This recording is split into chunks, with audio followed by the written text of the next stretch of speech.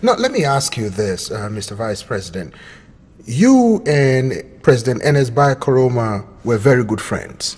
Uh, you went to visit each other's house when you were uh, uh, allies and in government. You won election together. He chose you as his vice president and all that.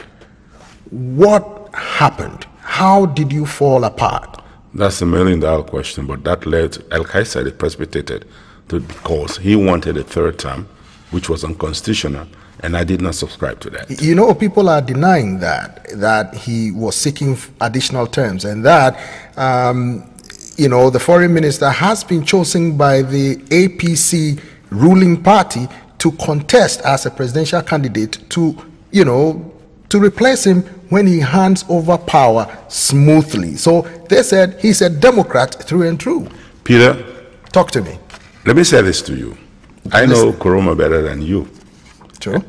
Based on the fact that uh, he did not succeed for a third term, the world knows that he decided to also have an extension of two years. That did not work. And then he also pushed for a six months. It did not work.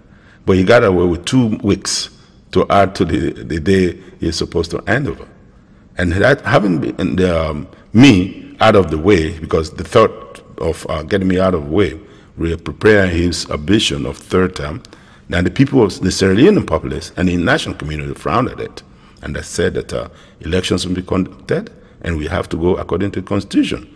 And that speaks by volume. You, you left the country under certain circumstances, you know, but what makes you think that going back to Sierra Leone to contest the presidential, the presidency uh, for, you know, political parties will be made smooth by the powers that be, if I may ask you?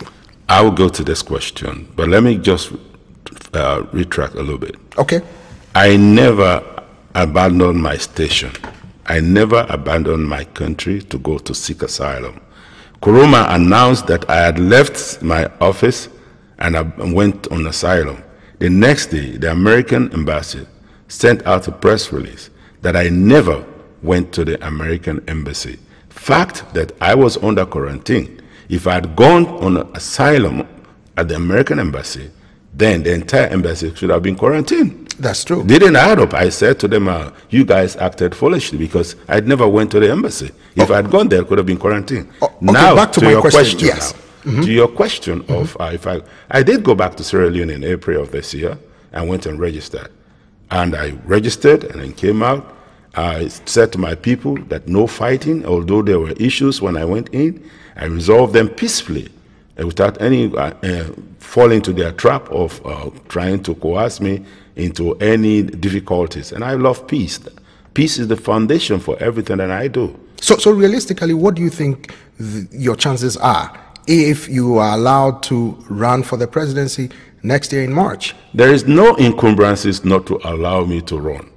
As I speak, I'm the leader of the Coalition for Change. CF, C4C? C4C, correct. Right. I am the leader for the Coalition for Change, and I've been bringing a uh, few political parties together so we can all come in and have the opportunity to fight the menace that we have, a dictator